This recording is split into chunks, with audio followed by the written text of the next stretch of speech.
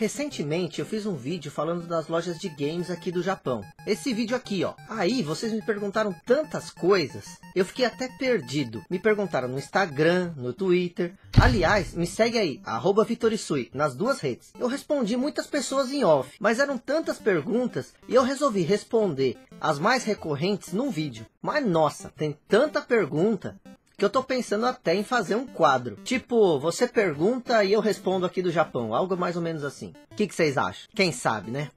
Mas vamos começar. O Douglas Evaristo perguntou: existe TV de tubo no Japão? Existe cabo HDMI adaptado para videogames antigos? TV de tubo existe, mas é meio caro, sabe? Pois as que existiam realmente as pessoas se livraram delas. E as que eu vejo para vender, sério, valem toda a minha coleção. Não tô brincando não. Em relação ao cabo, deve existir sim, mas eu uso esse adaptador aqui, ó, que transforma o AV em HDMI. Então vamos para a próxima pergunta. Anderson Cleito pergunta: Fala aí, Sui, beleza?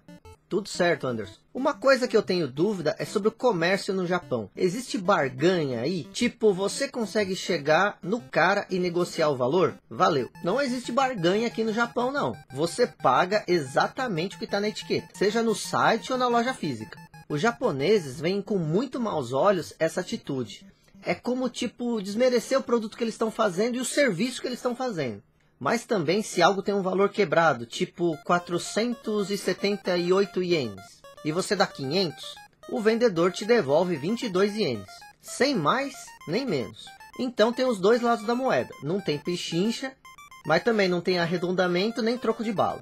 O Junior Max diz, muito bom e super explicativo o vídeo, isso aí. Valeu, valeu, valeu. Minha pergunta é, os produtos usados também são separados dos testados e não testados e assim diferem o preço? Forte abraço. Quando você compra um produto, geralmente vem uma etiqueta.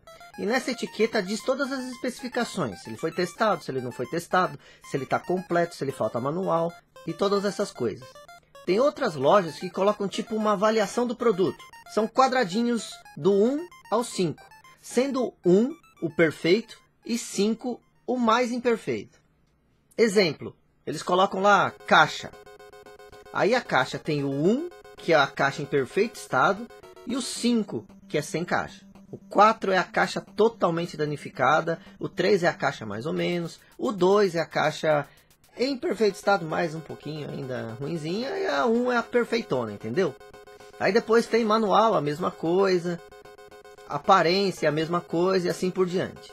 E é claro, isso interfere no preço final.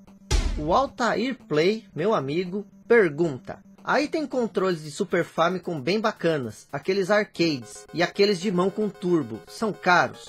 Altair, no geral não são caros não, mas depende da loja que você está comprando, do estado de conservação e tal. Até porque essas coisas usadas, elas não são tabeladas. O que eu posso dizer é que esses controles arcades do Super Famicom, do Super Famicom não, de todos os aparelhos, são bem feitos. Vou mostrar alguns de Super Famicom que eu tenho aqui. E vou te falar, se na época eu tivesse um controle desses, eu tava felizão. Eles são extremamente resistentes. Olha só, esse aqui é o modelo menor que eu tenho. Ele tem até a mesma aparência do controle de Super Famicom comum. Pelo menos no layout, né? Esse controle aqui é da ASCII. Você vê que o logo aqui, ó, faz até referência ao Street Fighter. Pelo menos nas fontes. Tem os Turbo, Slow Motion, Select Start. O manche é bem resistente.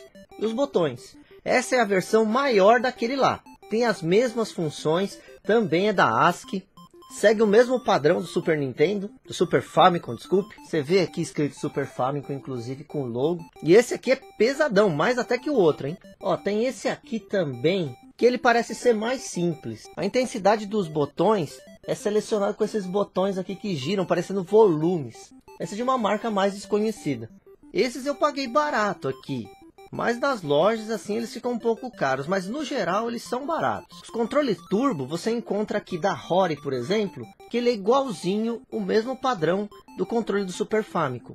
Tem a mesma resistência do original e também não são muito caros não. Se bem que eu vou falar para vocês, Eu encontrei lá na Super Potato um controle desse aqui, que não é nem original, e eu me assustei.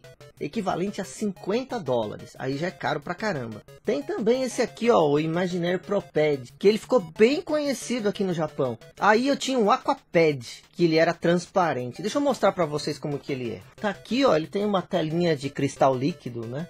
Só que eu, eu sinceramente não gosto muito da pegada, porque é um controle bem grandão, né? Mas ele é autoprogramável, ele tem várias funções bem legais. Controle bem interessante. E foi bem baratinho também. O Rafael Souza Oliveira pergunta: Tem locadoras de games no Japão? O preço dos games novos dessa geração são caros demais aqui no Brasil. O mesmo acontece por aí? Locadoras de games não existem por aqui não, mas as lojas de games disponibilizam alguns consoles para as pessoas testarem e que ficam à disposição de qualquer pessoa. Inclusive tem algumas hard off em que você pode pegar o jogo e testar lá mesmo. Agora, em relação aos jogos atuais, o valor dos jogos é mais ou menos o mesmo no mundo todo. Quando é um lançamento é em torno de 60 dólares. Claro que tem jogos que são mais caros assim, mas no geral eles saem a 60 dólares. E o valor é o mesmo no mundo todo. Fer M pergunta: Ótimo vídeo, parabéns. Valeu, Fer. Só uma dúvida.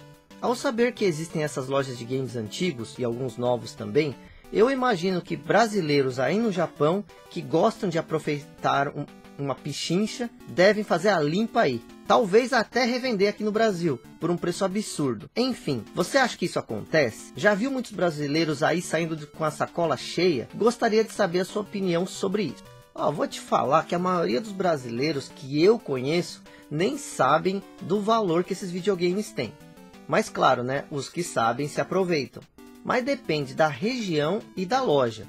Eu já fui visitar outras lojas de usados em outras cidades.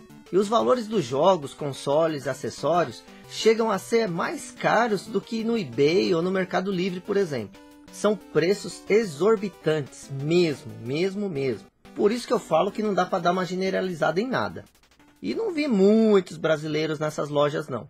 Só na Super Potato que eu encontrei bastante estrangeiro. E brasileiros também, mas lá é bem mais caro. Só que é uma loja que tem de tudo, né? E também por ser uma loja especializada em games e bem famosa. Até encontrei alguns inscritos por lá. Aliás, se você tirou foto comigo na Super Potato, manda aí, porque na hora eu não salvei nenhuma.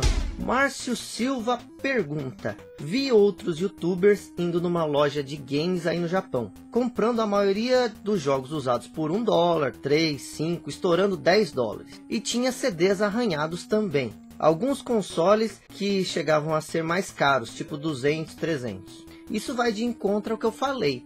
Produtos usados não são tabelados. Então depende da região, da demanda Quanto maior a procura, mais caro o produto fica. E assim, eu particularmente não vi nenhum CD arranhado ainda.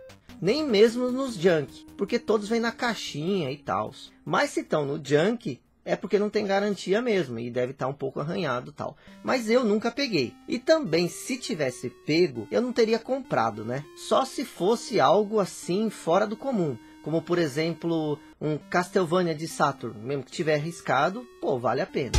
Junior Hunter pergunta: Nessas lojas é fácil encontrar consoles não japoneses, como Atari, Intellivision, Xbox, Amiga, etc. Eu nunca vi consoles estrangeiros por aqui, pelo menos nas lojas que eu fui até agora, tirando a Super Potato, que lá eu encontrei sim. E nesse um ano e meio que eu moro aqui, eu tentei muito procurar um Atari 2600, mas não achei mesmo. E olha que eu procurei bastante. O problema do Atari é que na época tinha outros consoles que faziam mais sucesso que ele por aqui. E o japonês tem aquela coisa de valorizar o produto nacional deles. Tanto que o Xbox, você encontra ele com facilidade.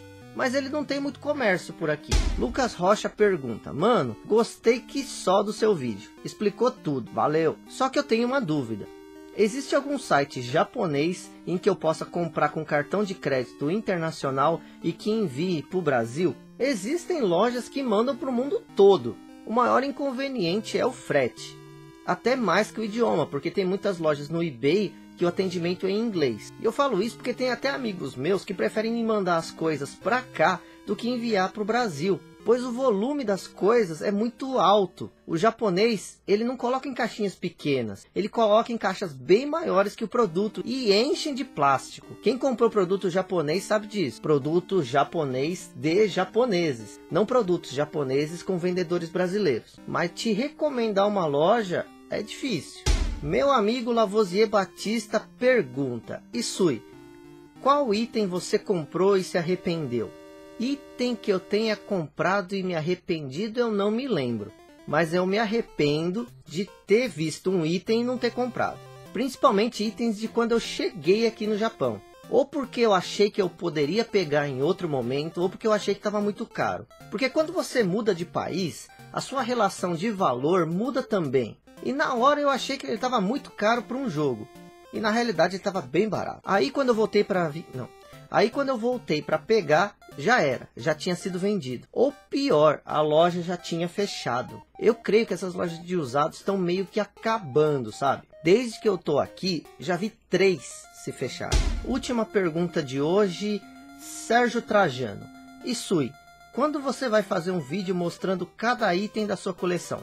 Por exemplo, minha coleção de Mega Drive, minha coleção de Super Nintendo, etc, etc. Abraço. Eu posso até fazer, mas sou meio ruim de pegar o item e ficar mostrando, explicando essas coisas assim.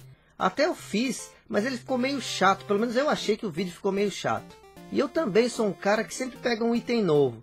Principalmente se for da quarta, terceira, segunda ou primeira geração. Da quinta geração para baixo me interessa muito, tudo. Aí sempre o vídeo vai ficar um pouco desatualizado, né? O que eu tô preferindo fazer, e que eu fiz bem pouco, é fazer que nem o que eu fiz com os vídeos da Namco. Pegar um tema, tipo jogos de Famicom que vieram com caixinhas de plástico, e mostrar e falar um pouco do jogo. Aliás, eu nem mostrei metade dos jogos que vem com caixinha de plástico que eu tenho aqui. Tô bem atrasado. Vocês verem, não tô servindo nem para isso. Se tem mais alguma outra questão, fala aí nos comentários. Quem sabe eu não continuo respondendo as perguntas de vocês. Ah, e me segue lá no Instagram e no Twitter, arroba.